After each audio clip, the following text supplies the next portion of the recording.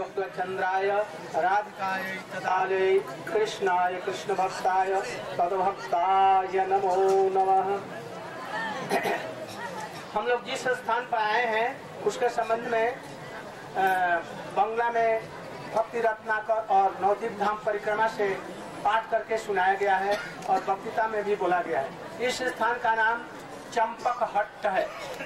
This place is known as Champak Hatt इस चंपक हट में चंपा के पुष्प होते थे और चंपक लता सखी घूत कर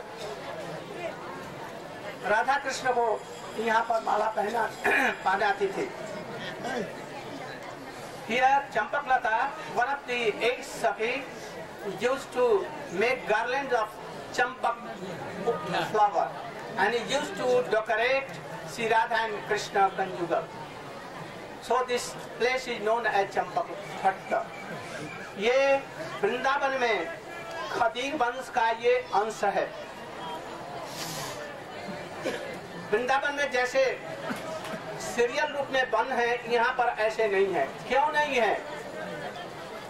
इसका कारण है प्रेम विवर्त है ये। भक्ति विनोद ठाकुर जी कहते हैं कि ये प्रेम का विवर्त है। प्रेम सीधा नहीं चलता, टेढ़ा चलता है। प्रेम की गति वक्र है। इसलिए कोई चीज़ सीधी नहीं आकर टेढ़ी मेढ़ी इधर से उधर चलती है। इसलिए ये प्रेम का विवर्त के वजह से ये वृंदावन के बारह बंद इस तरह से टेढ़े मेढ़े रूप में ईश नवदीप धाम में है। चैतन्य महाप्रभु जी को आप लोग सरल सीधा मत समझेंगे।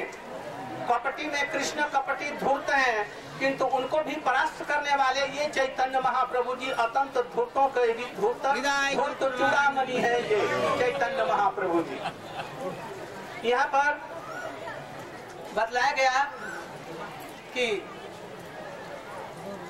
गदाधर जी के छोटे भैया पानीनाथ जी यहाँ पर गौ गदाधर की प्रतिष्ठा की साधारण रूप में लोग समझते हैं। चैतन्य महाप्रभु जी के साथ में विष्णु प्रिया जी, जो भक्ति की प्रेम स्वरूपणी हैं, उनके साथ में मायापुर में उनकी विग्रह प्रतिष्ठा हुई है और उनकी पूजा होती है। इसलिए विष्णु प्रिया की आराधना श्रेष्ठ है। किंतु रसिक भक्त लोग, स्वरूप दामोदर राय, रामानंद इत्यादि जो विचार दिए है, उनके अनुसार में गौ विष्णु प्रिया की अपेक्षा गौ गदाधर की उपासना बहुत श्रेष्ठ और रसमयी उपासना ब्रज की उपासना के समान है राधा कृष्ण की उपासना है। इसलिए गौ गदाधर जी के यहाँ उपासना है और कहीं नहीं देखी जाती उनकी उपासना किंतु यहीं पर वाणीनाथ जी ने गदाधर जी की कृपा से यहाँ पर प्रतिष्ठित किया है। हम लोग सौभाग्यमान है जी इस जग, इस जगह में गौ गदाधर जी का शिव विग्रह हम लोग दर्शन कर रहे हैं। और एक बात है मैं संक्षेप में बतला रहा हूँ क्योंकि बहुत समय हो गया है। यहाँ पर जयदेव गोस्वामी जी रहते थे। इसके पहले गंगा के उस पार में चैतन्य महाप्रभु के पास ही में एक जगह है जिसको क्या कहते हैं? बल्लाल देवी के पास ही में जयदेव गोस्वामी का पाठ है। वहीं पर रहते थे। किंतु राजा ने लखन सेन। लखन सेन महाराज ने इनकी प्रसिद्धि सुनकर इनके चरणों में नतमस्तक हुए और बोले, आप हमारे राज्य के कवि हो। उन्होंने कहा कि हम तो कृष्णचंद्र जी के दरबार के कवि हैं। तुम्हारे राज्य के कवि नहीं है जो तुम्हारे प्रसन्न करने के लिए हम आएँगे। हम तो राधा कृष्ण और चैतन्य महाप्रभु जी को ही प्रसन्न करना चाहते हैं। इसी में हम प्रसन्न रहते हैं। हम तुम्हारे राज्य में नहीं रहेंगे। ये कहकर तुम का राज्य छोड़ करके गंगा पार होकर के जब जाने लगे तो उनके चरणों में गिर करके प्रार्थना कीजिए, प्रभु, आप यहाँ न रहिए तो आपको हम यहाँ पर स्थान चंपक हट्ट में आप रहिए। यहीं पर आकर के उन्होंने गीत गोविंद की रचना की। दशावतार दशावतार और गीत गोविंद की रचना की मंगल मंगल गीतम, जिसको अभी गाया गया। उसकी ये सुन करके राजा चमत्कृत हो उठा। और जो जो सुने वही प्रेम में मुग्ध हो जाए।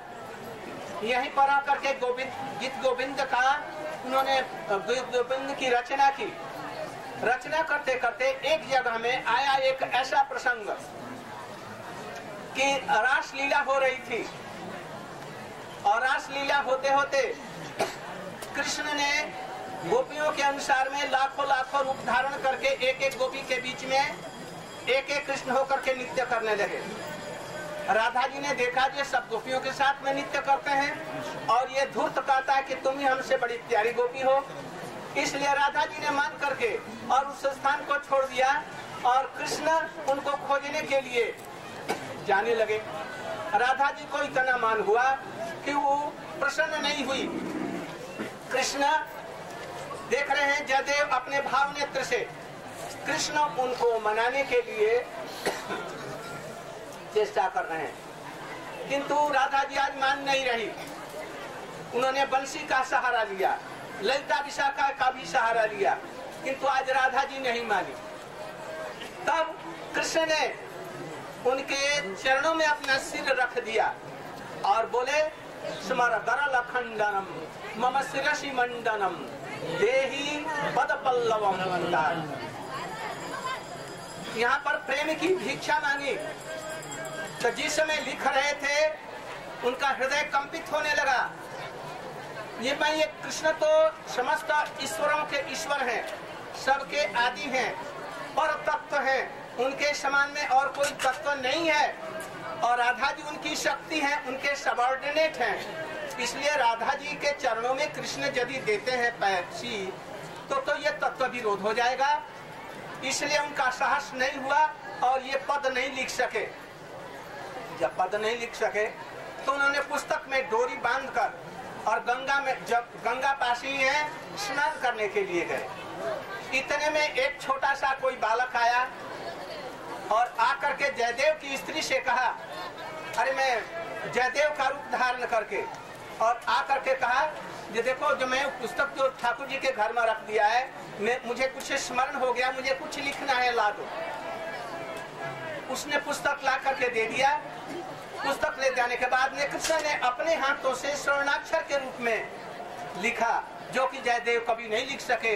स्मर गरल खंडनम, मम शिरसी मंडनम, देही पद उस पद की उन्होंने पूर्ति कर दी और लिख करके वो चले गए स्नान करने। इतने में वो आए।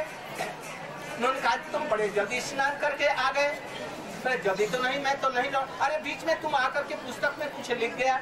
नहीं नहीं नहीं, मैं तो बीच में नहीं आया।